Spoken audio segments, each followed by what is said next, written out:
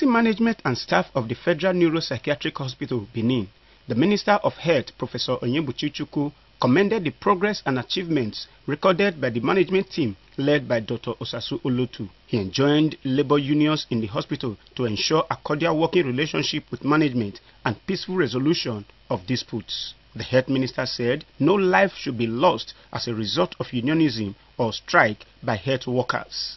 There is an implicit um, agreement, kind of consensus that we will work for peace.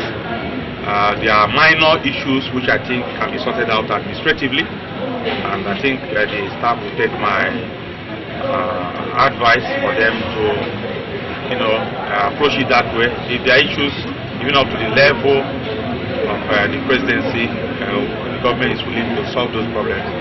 Earlier, while welcoming the health minister and his entourage, the medical director, Dr. Osasu Olotu, said the visit, which is the second within a short period, is an indication of the minister's commitment to mental health. Dr. Olotu, who intimated the minister of intentions to pursue a public-private partnership to improve on service delivery, enumerated achievements recorded so far. When I came on board, there appeared to be parallel government, union on one side, some other groups on one side, and management itself on one side. That has reduced the barriers minimum. I will also mention in terms of infrastructures that management has been able to expand the emergency and assessment unit. And I'm sure, time permitting, the honorable ministers will see that unit.